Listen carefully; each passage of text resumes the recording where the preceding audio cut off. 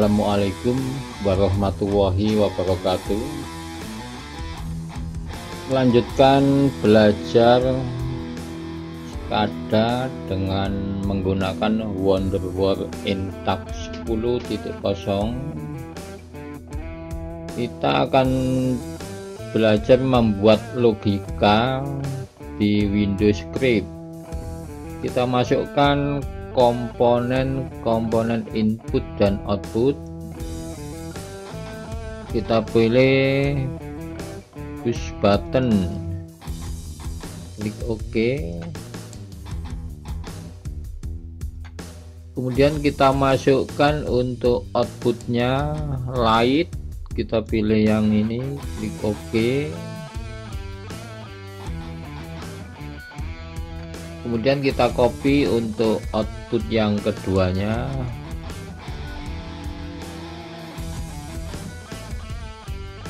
Kemudian kita masukkan slider. Kita masukkan digital value untuk slider. Kemudian kita masukkan juga blower kita dari simbol factory untuk blower kita ambil blowernya. Klik break cell. Kemudian klik simbol. Kita ambil blowernya. Klik make simbol kemudian masing-masing komponen ini input dan output kita berikan tag name untuk tombol start PB1 kita pilih toggle klik OK. Klik OK di save kemudian close. Untuk output kita beri expression name L1 warnanya kita ganti yang kuning klik OK. OK save close. Untuk slider kita beri tab name SL1 nilainya tetap 100 maksimum klik OK. Klik OK save plus. Untuk digital value slider klik dua kali. Centang analog diklik analog. Expression ketik SL1 kemudian klik OK. Untuk output kedua L2 klik OK. Klik OK. Klik OK. Plus. Untuk blower dipilih orientation di centang kemudian klik expressionnya SL1 yang lain-lain tidak dirubah klik OK dan OK. Kemudian untuk menghubungkan device input dan output kita menggunakan function-function yang ada di Windows Script untuk membuat logika. Klik kanan pilih Windows Script. Di sini kita akan membuat logika menggunakan function-function yang sudah tersedia di sini. Ada if then and if dan seterusnya. Kita masukkan if. If pb1 sama dengan 1 then L1 sama dengan 1 titik 2 and if if L1 sama dengan 1 N L2 sama dengan 0 kemudian then SL1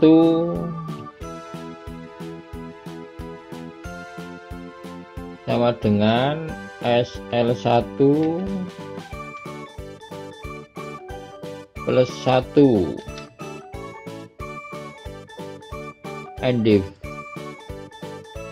jadi kita di sini membuat logika if PB1 sama dengan 1 then jadi saat PB1 berlogika 1 maka L1 di sini adalah berlogika satu. Artinya pada saat tombol start ditekan kemudian L1 aktif.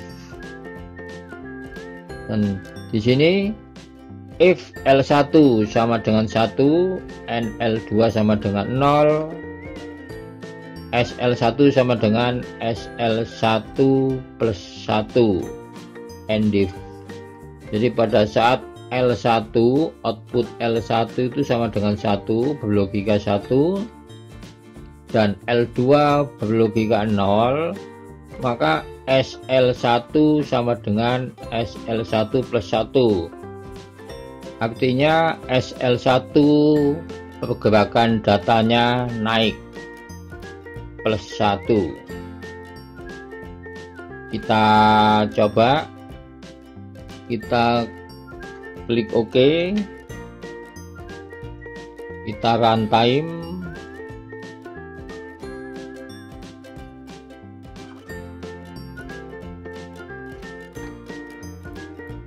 klik PB1 kita lihat pergerakan data dari SL1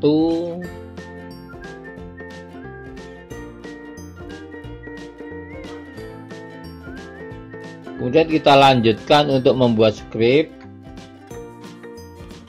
Jadi pada saat nanti SL1 nilainya mencapai 100 supaya pergerakan datanya menurun maka di sini kita buat logika berikutnya. If SL1 sama dengan 100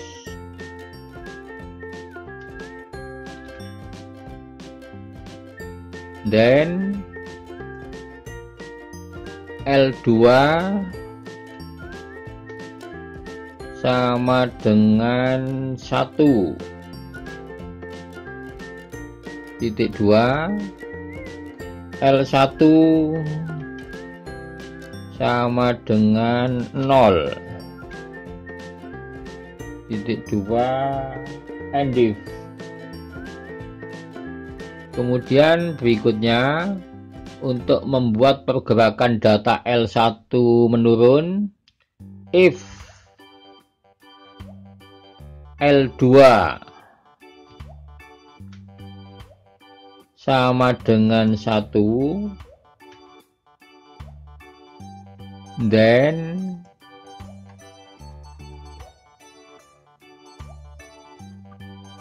L1 sama dengan 0 titik 2 SL1 sama dengan SL1 minus 1 titik 2 end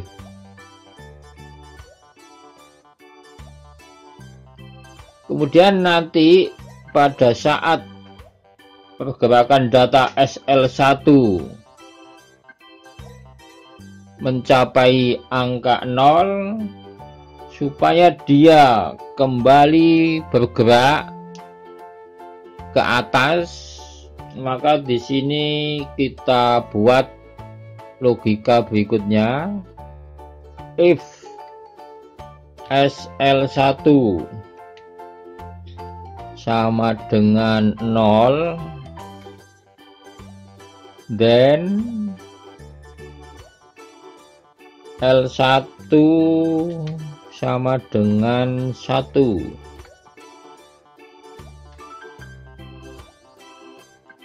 L2 sama dengan 0 kemudian kita buat logika berikutnya if PB1 sama dengan 0 then L1 sama dengan 0 titik 2 L2 sama dengan 0 titik 2 SL1 sama dengan 0 titik 2 endif jadi logika yang ini if PP1 sama dengan 0 then jadi pada saat PP1 nanti ditekan dan berlogika 0 artinya off maka L1 sama dengan 0 off L2 sama dengan 0 off SL1 juga berlogika 0 artinya kembali ke angka 0 and if.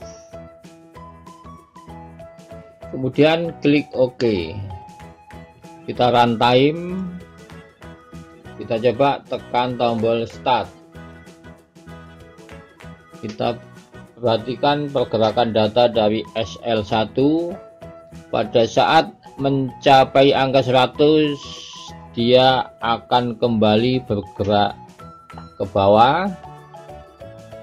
Kemudian pada saat mencapai angka 0 dia akan kembali bergerak ke atas. Begitu seterusnya sesuai dengan logika yang kita buat di Windows Script. Logika ini bisa kita aplikasikan untuk operasional motor mesin cuci. Kita coba. Di sini ada kipas blower. Ini kita umpamakan sebagai motor mesin cuci. Sebagai pulsator dari mesin cuci. Kita klik dua kali. Kemudian kita klik orientation. Jadi motor mesin cuci dia mempunyai dua putaran ke kanan dan ke kiri CW dan CCW sebelum dia berputar ke kiri atau ke kanan dia ada waktu jeda beberapa detik. Dan di sini kita beri jeda waktu 10 di sini kita beri angka 10 kemudian di sini kita beri angka 90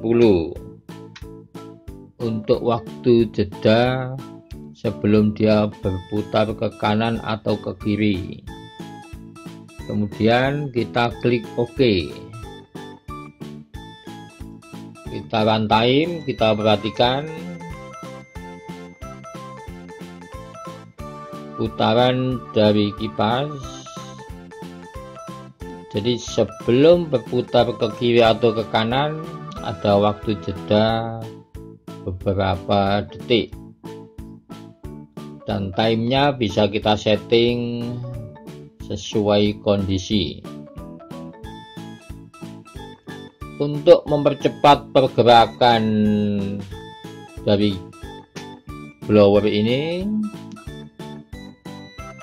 kita bisa merubahnya di logika Windows Script. Kita coba kita rubah jadi supaya pergerakan datanya lebih cepat di sini bisa kita ganti dengan angka 2 3 4 5 dan seterusnya. Semakin tinggi angkanya di sini semakin cepat pergerakan datanya. Kita coba ganti dengan angka 2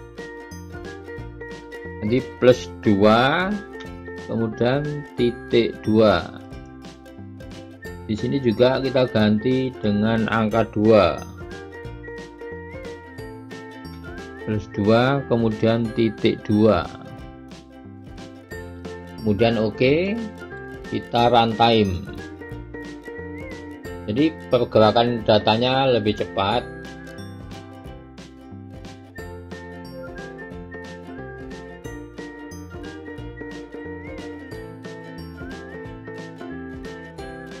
jadi logika ini bisa kita aplikasikan di dalam operasional motor mesin cuci.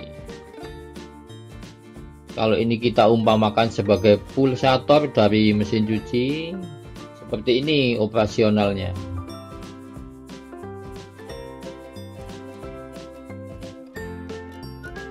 Demikian teman-teman untuk video kali ini sampai berjumpa kembali di video berikutnya. Wassalamualaikum warahmatullahi wabarakatuh